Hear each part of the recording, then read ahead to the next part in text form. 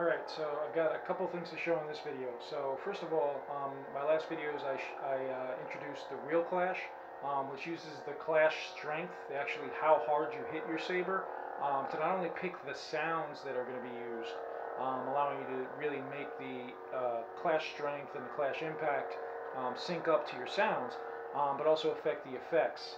so you'd have different size clashes, so you'd have a lighter clash, would be a smaller area, and then medium would be a larger area that dissipates, and then a really hard clash would be filling up almost the whole blade.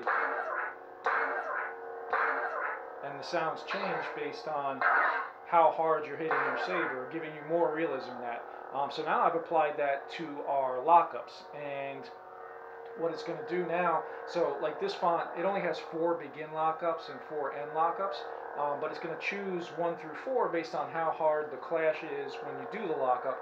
Um, and then on the effects, I actually have it so that the initial uh, begin lockup effect is going to be affected, so the size of the begin lockup, which is when you first clash, is also um, affected by how hard the clash is. Um, and then the end lockup is actually going to also react to that. Um, and that's also tied to battle mode, which I'm going to show in a minute. Um, so when I'm in lockup, I can do a lighter lockup. And it's a uh, quicker dissipate on the end, and it's a smaller initial impact area that then moves. And of course, it's uh, going to be fully responsive, so so it does react to your blade angle. But both the begin and end lockup sounds, as well as the begin and end lockup effects now, react to the uh, how hard the sabers hit. And then if we do a harder hit, we're going to get a much larger initial impact, um, and it's going to choose different sounds. And I can probably hit it a little harder than that. Yeah, there's a better one. And you'll see the end lockup effect is also affected as well as the initial lockup. Now, the initial lockup is really fast. It's, it's like 50, uh, what is it, 50 milliseconds? Um, so it's super fast, but the size of it is reacting to how hard the hit is.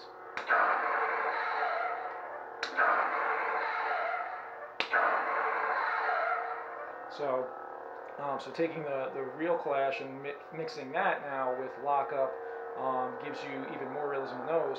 Um, but on top of all of that, the final piece of the puzzle is that I've actually taken the clash strength and applied it to battle mode to create battle mode 2.0. So battle mode 2.0 is actually what I've been working on for a while. It's just all the pieces haven't been lined up.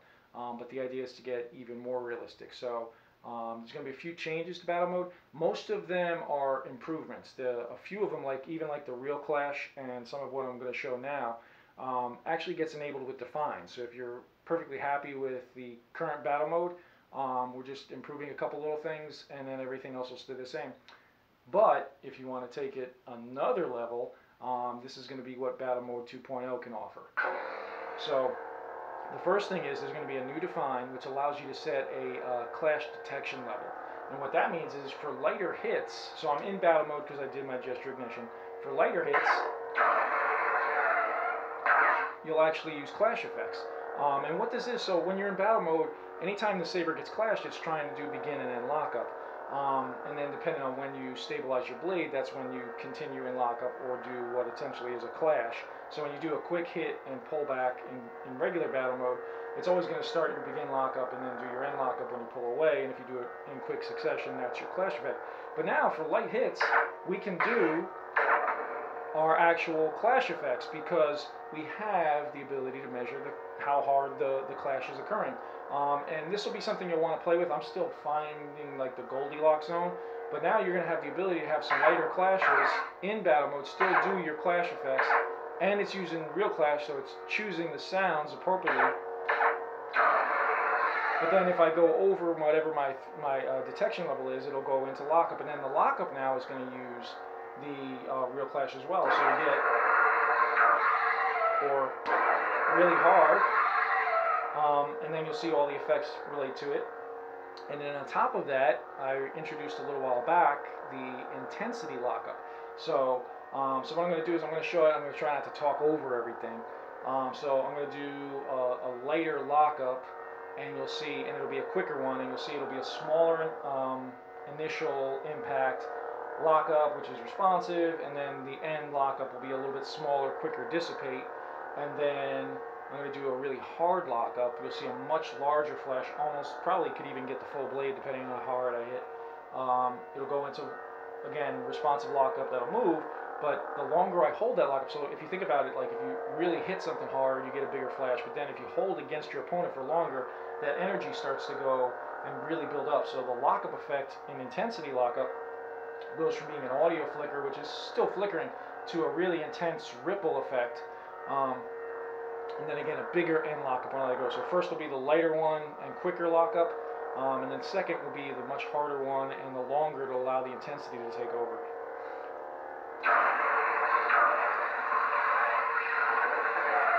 And now this one will be a much harder one, and then I'll leave it on until I get that intensity lockup.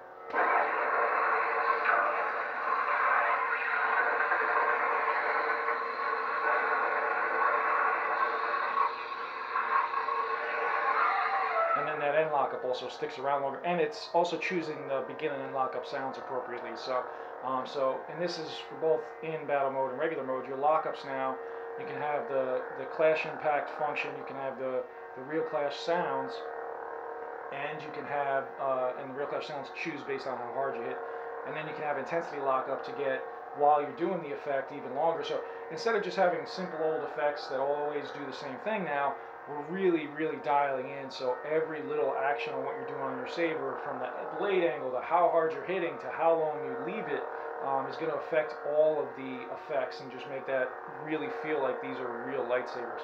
Um, so I'm going to show, just do it a couple more times. So a couple lights for clashes. This is all in battle mode. Um, then a lighter lockup, and then a kind of medium lockup, and then a really hard lockup. And attempt not to talk over it again because I seem to talk quite a bit.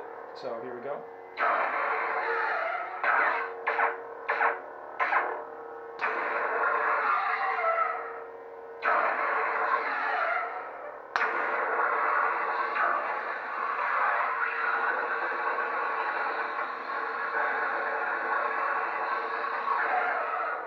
And then also, if you do harder clashes, even with that detection level, it's still going to try to do uh, lockup because you obviously want to get part of the reason for battle mode is to be able to lock up without buttons.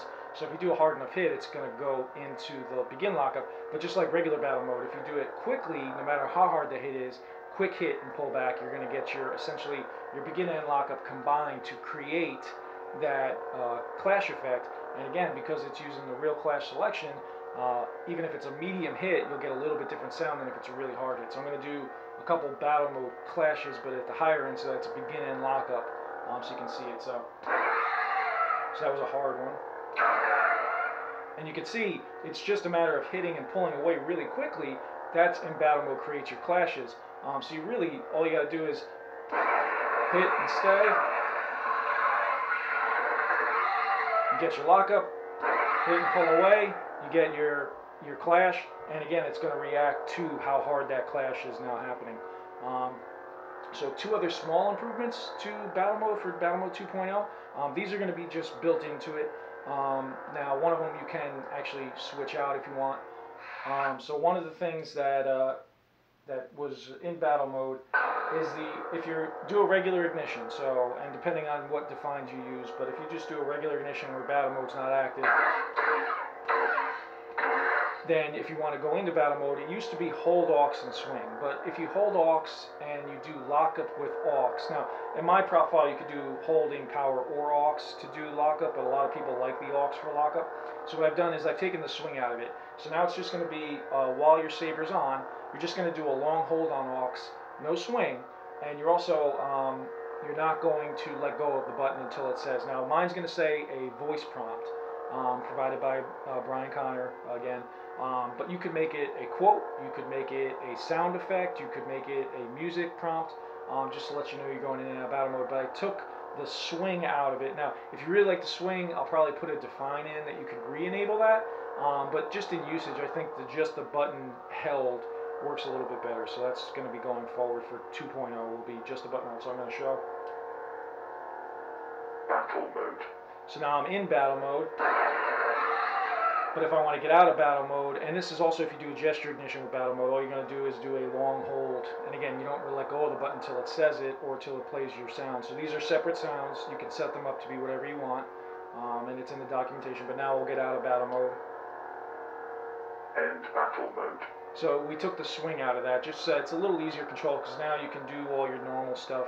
Um, and by making it the long button hold, it doesn't really interfere. Unless you're holding that aux, that aux button for the whole time before you go to do a lockup, um, that's more just getting used to the control. Um, and then the other piece, so let's go back into battle mode. Battle mode. So is I've improved the uh, the drag. So um, in it's still going to be a downward stab. So if you go downward stab while in battle mode,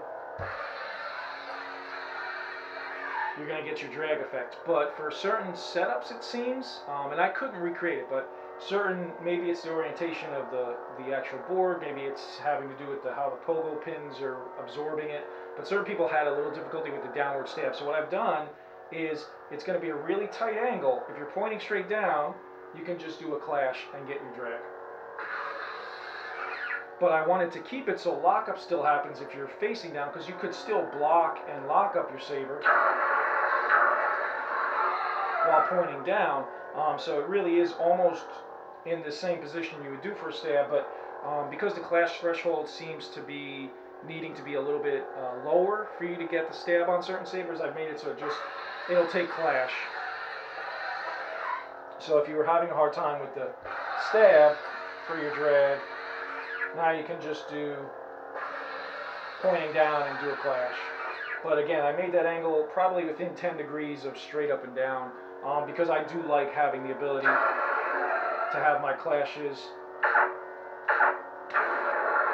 and my lockups happen low because it, you're going to want to be able to block and uh, you know do lockups down low um, depending on you know how you're choreographing or what you're doing. Um, so that's that's the other change is just an improvement to make uh, drag a little bit easier for those sabers that were having a little bit of hard time with it. Um, so I am still dialing everything in. Um, still finding that Goldilocks zone for when you're in battle mode. There is going to be a define for clash detect. Um, and uh, again, it just lets you have your light clashes do clash, and then when you get over that, you go back to regular. Um, again, the idea of battle mode is no button, so I wanted to give kind of using that new feature of the ability to actually detect the clash level, add that into battle mode to make battle mode 2.0. Um, and just make it that much more realistic. This way, if you are just walking and something hits your saber, you're not going to get a lockup automatically. It's going to take certain hits to do it, but you're going to want to dial that in. So there is, it'll be in the write-up once I find the perfect zone, um, but essentially because it's detecting the level of clash, you're picking what value for clash you want clashes to occur versus lockups to occur while in battle mode.